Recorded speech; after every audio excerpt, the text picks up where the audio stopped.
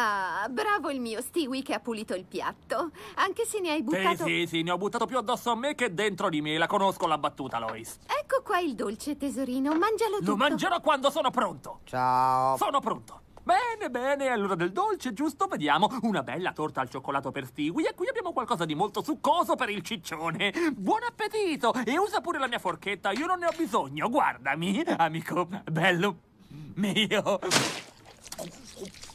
Oh, Stewie, smettila di mangiare come un porcellino. Forse dovremmo cominciare a eliminare i dolci. Stai ingrassando troppo ultimamente. Chris, dove sei stato? Ah, Papone mi ha portato da un dottore per farmi aspirare la ciccia dalla pancia. Cosa? Sì, ma non l'ho fatto, eh. Preferisco continuare con la dieta e la ginnastica. Sei stato molto saggio, hai deciso da vera persona matura.